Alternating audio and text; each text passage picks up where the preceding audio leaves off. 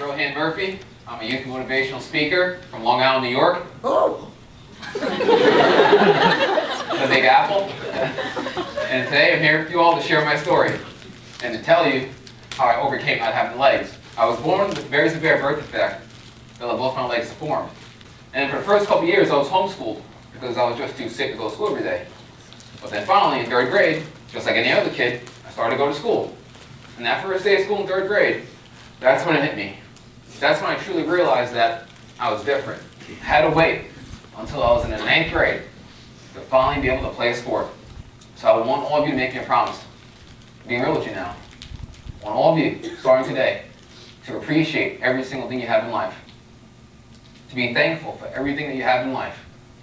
Your family, your friends, the great university that you go to. I want you to appreciate every single thing you have in life. Even the simple things that you don't think about on a daily basis, like having your legs. Just trust me.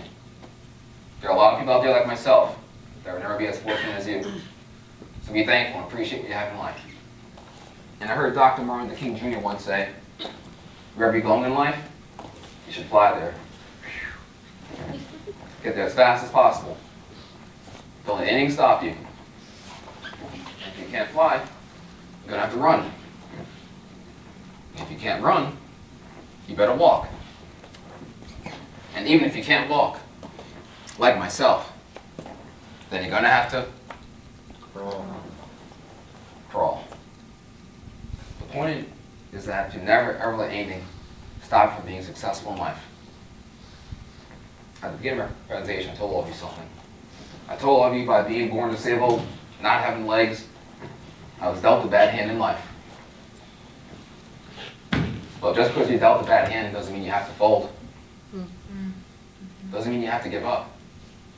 You have to persevere. You have to keep on living life. Day by day. You can't live life looking in the rearview mirror. You have to be able to look through the windshield, look forward, and move forward in life. And adversity comes in many shapes and forms. It comes in many shapes and forms. Growing up in a single parent household, maybe having family struggle financially, or maybe even not having legs like myself. But once again, the point is, you have to keep on moving forward. And went on to make the Penn State wrestling team. Division One Penn State wrestling. And I finished with a record, a collegiate wrestling record of 5 and 13. 5 and 13. 5 wins, 13 losses. And I speak to a lot of middle schools and high schools, and usually when I tell them that, they don't think much of it. They don't think that's too good. Some of them even think I failed. That's not the way I look at it. The way I look at it, I went from a kid that had to be homeschooled because I was too sick to go to school every day. I went from that kid to a young man who graduated from Penn State University. Go ahead and tell me I failed. What I'm trying to say is, I think sometimes in life, success can't be measured by wins and losses. Sometimes, you have to look at the whole picture. Sometimes, you need to have a different perspective on life. And hopefully, by hearing my story tonight, all of you will have a different perspective on life as well.